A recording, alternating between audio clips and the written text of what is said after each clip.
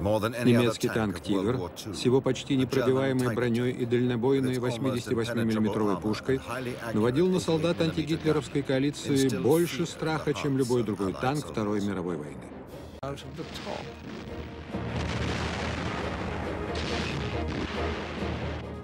Оказываясь в меньшинстве почти в каждом бою, отлично обученные и храбрые экипажи «Тигров» были элитой немецких «Панцерваффе». Танк «Тигр». В 1916 году англичане первыми использовали танки на поле боя. В Германии в то время этой революционной новинки не придавали особого значения. По Версальскому договору Германии было запрещено производить собственные танки. Так что в 20-30-х годах разработки танков велись тайно. Но с приходом к власти Гитлера и нацистов секретность была отброшена.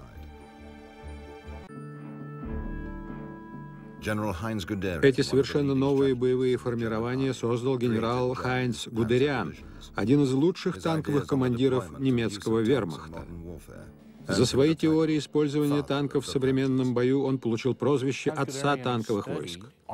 Хайнц Гудериан между Первой и Второй мировыми войнами изучал возможности применения танков в бою. И она приносила нам успех.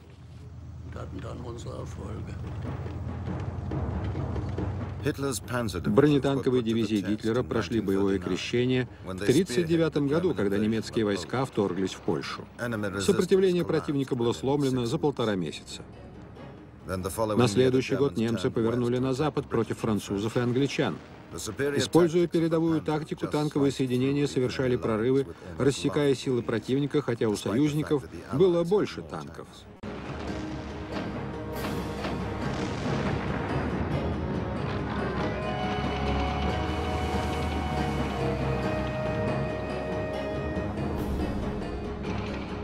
В июне 1941 года Гитлер развязал войну уже с Советским Союзом. За считанные недели Красную Армию отбросили далеко вглубь страны.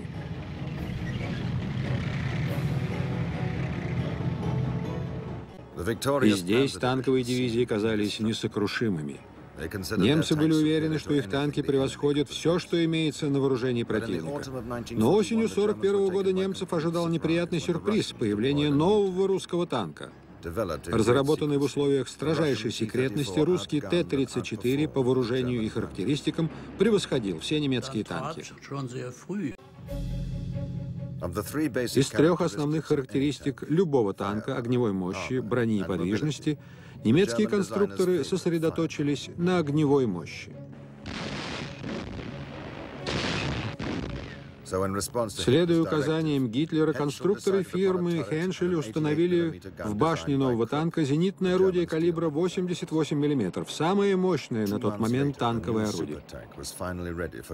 Через два месяца новый тяжелый танк был, наконец, готов для боевых испытаний. Могучая боевая машина получила название «Тигр». 56-тонный «Тигр» был на 20 тонн тяжелее своего главного соперника. Все же, несмотря на размер, он должен был преодолевать любые препятствия, препятствия и пересеченную местность лучше любого другого немецкого танка.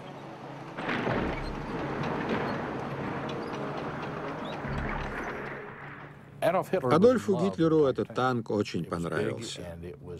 Он был большим, мощным и был воплощением идеалов господства арийской расы. В конце 1942 года фронтовые подразделения получили этот супертанк. Его 88-миллиметровая дальнобойная пушка не имела себе равных по огневой мощи. Скоро выяснится, будет ли «Тигр» тем инструментом побед, который был так нужен Гитлеру.